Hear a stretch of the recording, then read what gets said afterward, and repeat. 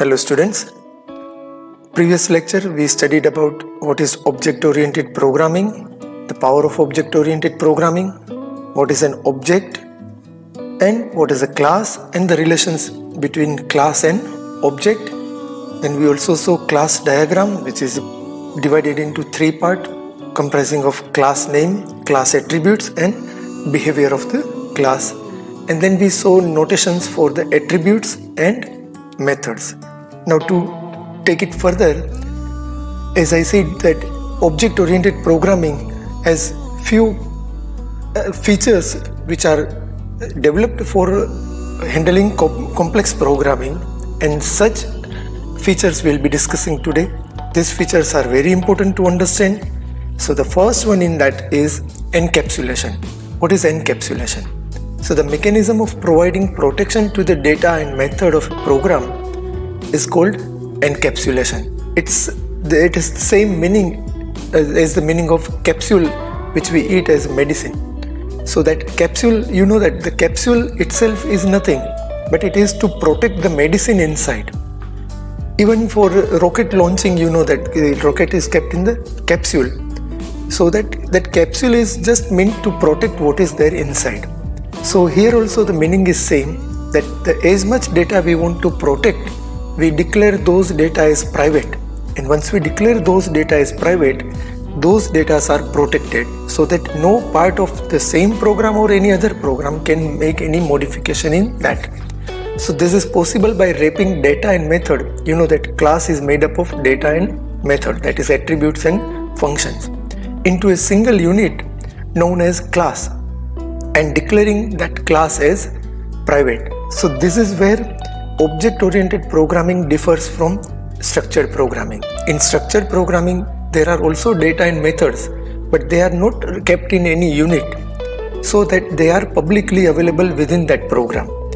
But in object oriented programming this data and methods are again kept in a unit and that unit is called class and we declare that class you know that we can declare any object or any attribute or any data or any method as private public uh, protected and the fourth one is package but as you declare it as private it is not accessible by any part other part of the program. So private members are not available to the other and can be made available only via public method. So encapsulation provide data hiding capability. Encapsulation keeps data from safe from unintended actions and inadvertent access by outside object. So once you declare something as private, nobody, nobody, no other part of your program or any other program can do any kind of modification or even can't see that what is there. So that is data encapsulation. Next in line is data abstraction. Data abstraction is a concept where it says that what you are doing or what it is doing, but it won't say how it is being done. So that is what data abstraction. So it hides the complexity. So the simple example of data abstraction is every function of Excel. You know Microsoft Excel and there are so many functions. You know some function is doing total of numbers now, how that function, uh, some function is working, that we don't know. So the complexity of the programming, that how it does the calculation, is kept hidden from the user. We know that some function is used to do uh, addition, but we don't know how it is doing. If we take more meaningful example of this, our, our own topic of 12th standard, then in chapter 1 we saw form. And in form we created two buttons, submit button and reset button if you remember, to create this button, we just write three words input type is equal to submit, or we say input type is equal to reset. Now we know that when we say input type is equal to reset, it creates a reset button, and clicking on that button will clear everything which we have entered in the form. So we know that reset function is resetting every data of the form, but we don't know how it is being done. So that is called data abstraction where the complexity of the program is kept hidden from the user. So implementation details are not available to the user. Abstract data type that is ADT or structures in C and C++ or classes in C++ and Java are the best example of data abstraction. We know the name of the class which is declared as private but we don't know that how that class is being used or implemented. Encapsulation protects data and abstraction enables to represent data in which implementation details are hidden. So this is the difference between encapsulation and abstraction. Don't mix up both of them. Understand that encapsulation is just protecting the data. It is not hiding the data. It just protects the data so that nobody can use that data. You nobody can modify that data. Whereas abstraction is hiding the complexity of the program. So that is what the main difference between encapsulation and abstraction. The third in line is messaging. Messaging is very simple thing. You created a method and when you call that method to get executed, that is called messaging. It's very simple. You create a function. Suppose somebody created some function in Excel. Now when we use that function, that is called to call to that function. So that is called messaging. So a call to a method or function is known as a message. Due to encapsulation, all method calls are handled by object that recognizes the method. So if the old method calls are handled by the object that recognizes that method. Now how this thing is done. So there is an example. Suppose we have a display method for different classes. Same method but for different classes. Date class, person class, time class all these three classes are having display method. Now when this method is called in the program, how to know that which display method is to be executed? It is something like there are three students in the same class with the same name and when that name is called out, how does that student will come to know that whom sir is calling? So here the thing is this is determined using the object that calls the display method. So you say date.display person.display, time.display. So that is how we identify the different display method of the different class. So once again, there is a method with the same name but in different class. And now when I want to execute particular method of particular class, I need to precede it by the name of the class. For example, display method is available in date, person and time class. But if I want to execute display method of person class, I should say person dot display. So that is how program will come to know that I am trying to execute the display method of person class. Next is polymorphism. Very interesting one. Polymorphism means many forms. Now you know that there can be only one function with the same name. There cannot be more than one functions with the same name. In computer, everything has to be unique in real life it is not like that. In real life we may have so many uh, people with the same name but we have other characteristics of their by which we remember them or we can identify them. But in computer you know that there can be you know it's simple as simple as in one folder you can have only one file with the same name. You cannot have two more than one file with the same name.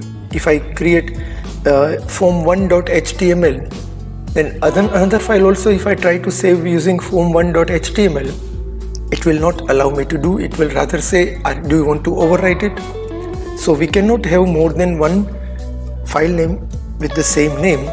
Similarly we cannot have more than one functions also with the same name.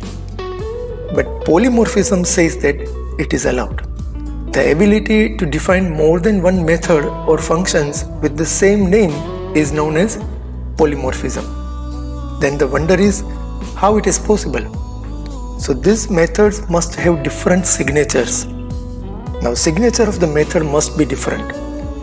That is number and type of parameters passed to it. That means the number of parameters which we are giving to that particular method having same names should be different.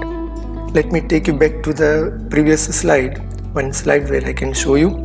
For example here, we have set birth date method if you look at the last box set birth date method it has three parameters d m and y and the return type is date Similarly, change city has got one parameter and that is new city with string type and output is also of type string.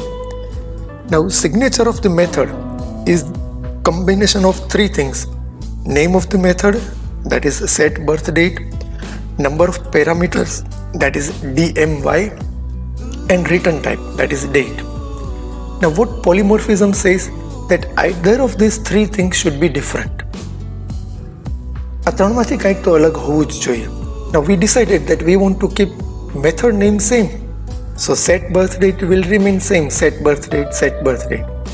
Then it says that either the number of parameters should be different that is here there are three parameters other set birth date method might have two parameters or one parameters or zero parameters.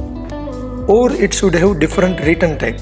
Whereas here the return type is date it should have different return type. Don't worry next chapters all this thing will be looking through the program so that it would at that time it would be more clear if you don't understand right now. But remember that polymorphism is something where you create more than one functions or methods with same name but different signature so object oriented programming allows defining more than one method or function having same name but different signatures and this is also known as function overloading or method overloading. It is also called function overloading or method overloading. The last thing in the line is aggregation and composition. Now, what is aggregation and what is composition?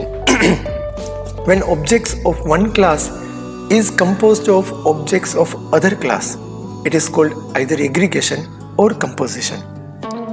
So when object of one class is made up of objects of different other classes, it is called aggregation or composition.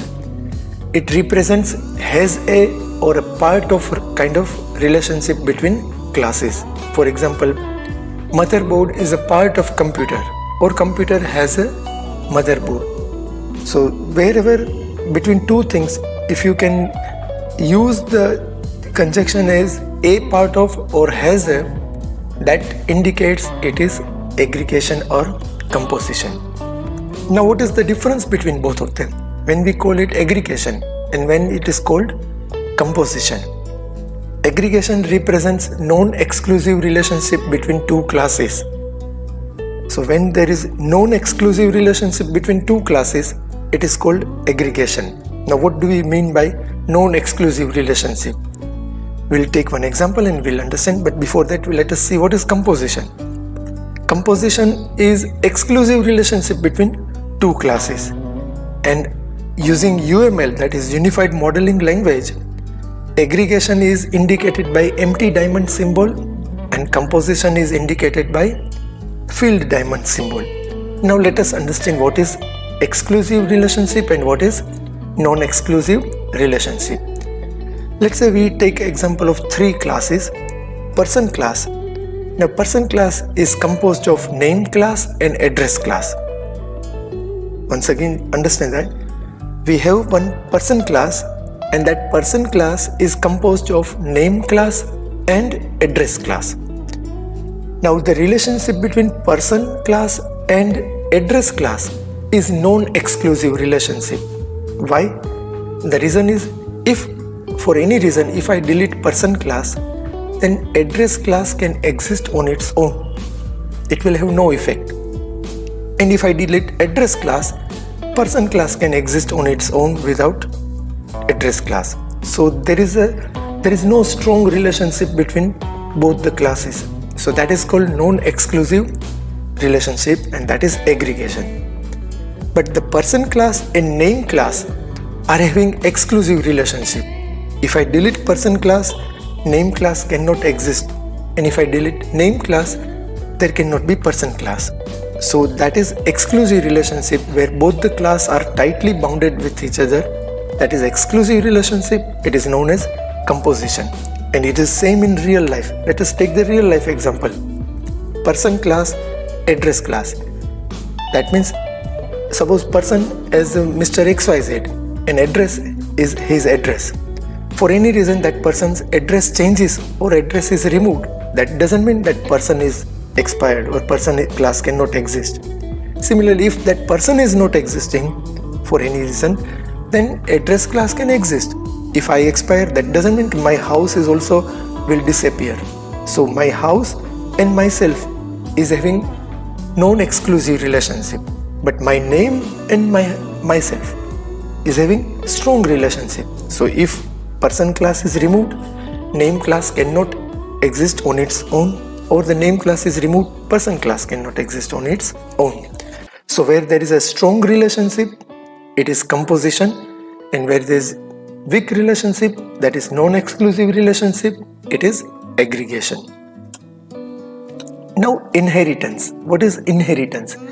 See inheritance, the easiest word is to understand inheritance is varso your grandfather gave his his inheritance that is your dad is his inheritance and you are your parents inheritance so like આપણને પપ્પાને દાદાનો વારસો મળ્યો આપણને પપ્પાનો વારસો મળે that is called inheritance જે વારસામાં આવે છે પેઢી દર પેઢી inheritance is generally referred to as is a kind of relationship so the difference between aggregation composition and inheritance is here here it is is a kind of relationship and over there it is has a relationship or a part of relationship a teacher is a kind of person a doctor is a kind of person an engineer is a kind of person so all these all the attributes of method and methods of class person is applicable to teacher doctor engineer or because when i say i want to create doctor class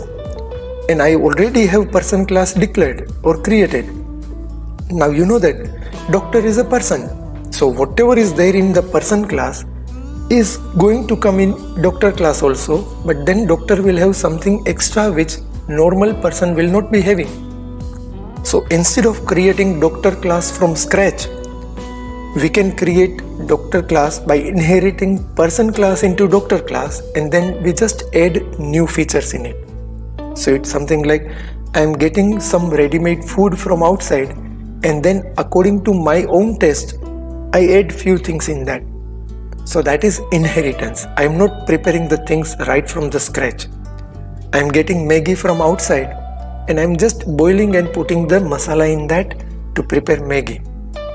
So I'm not preparing Maggi right from the scratch that oh, I just uh, get the flour and uh, make the noodles and then dry dried up and then I cook it. So I just get the ready-made Maggi and then pour some water and masala in that and it is ready. So that is something called inheritance.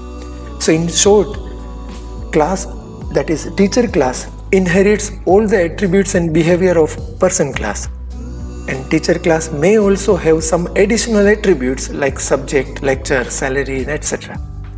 So once again, inheritance allows you to reuse your programming code and to extend that programming code. So that is extendability of your program.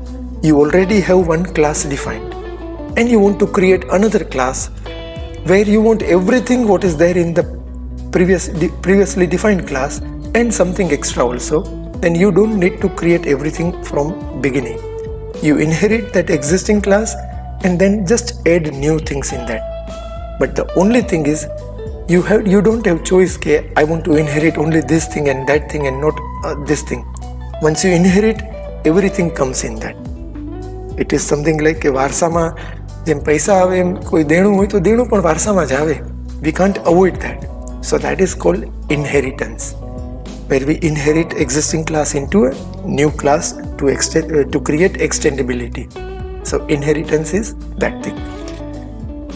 This is the comparison between composition aggregation versus inheritance.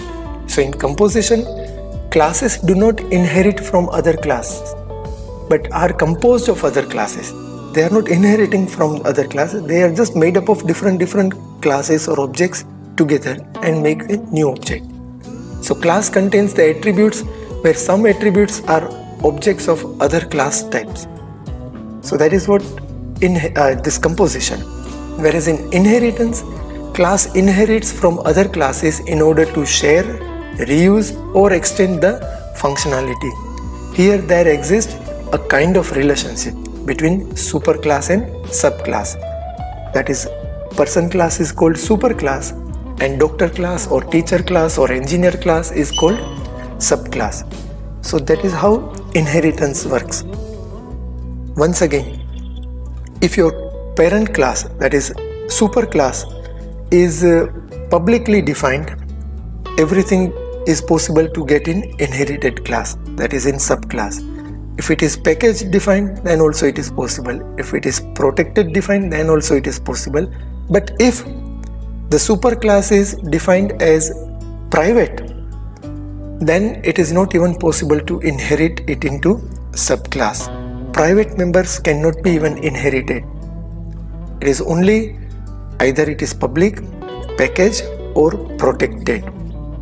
Again, if you inherit protected class, then in subclass it will be it will become private though these things are little advanced because you'll come to know only when we do programming that comes in 7th and 8th chapter but still just to keep in mind that when you inherit a protected class then in inherited class suppose person class is protected and you inherit it into doctor class then whatever is there in a person class will be will become automatically will become private in the doctor class but if the doctor uh, person class is declared as private, you can't inherit them also.